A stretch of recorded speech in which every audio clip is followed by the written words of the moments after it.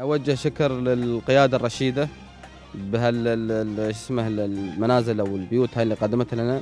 وإحنا طبعا في كنا في أمس الحاجة لها. والحمد لله رب العالمين على هالقيادة الطيبة والرشيدة. بقول ما الله يطول أعماركم ويميزكم يا ربي. الحقيقة هذا المشروع امتداد لمشاريع سابقة آه، وهذا النهج متبع في إمارة أبو ظبي.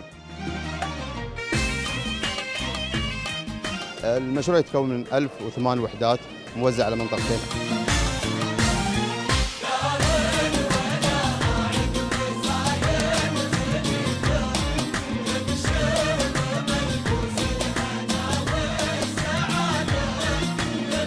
أقدم الشكر إلى شيوخنا الله يطول بأعمارهم إن شاء الله ويجزاهم الله خير على هذا اللي يسوونه.